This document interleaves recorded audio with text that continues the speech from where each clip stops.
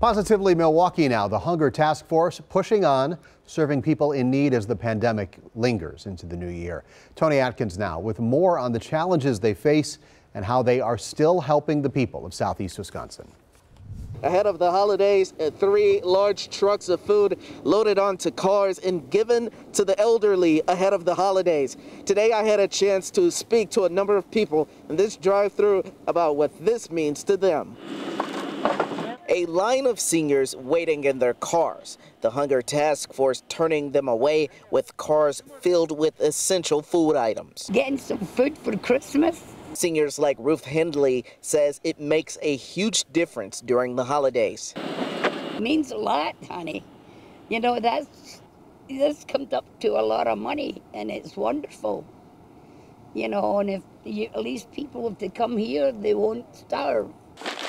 My name is Roger. I come here to get uh, help to get food. Roger, who didn't share his last name, walked to Wednesday's food distribution. It's a gift. It's a gift for people who don't have much. He needed a bigger cart to take his much needed groceries home. Hunger Task Force gave him a new one during our interview. They're giving that away? It's for you, sir. You're going to get that cart with you today.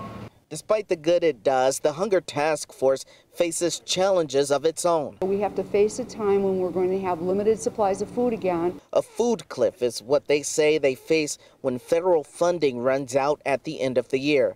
They await more funding in a Joe Biden administration. We're going to skitter off the cliff because the food that we were getting through the CARES Act and the support we were getting through the CARES Act is going to disappear.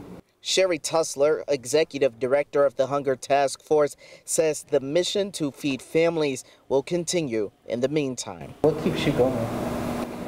Knowing that we were essential made all the difference in the world to me, um, knowing that we were going to make a difference. In a pandemic, it's essential work at a time where anyone could find themselves in need.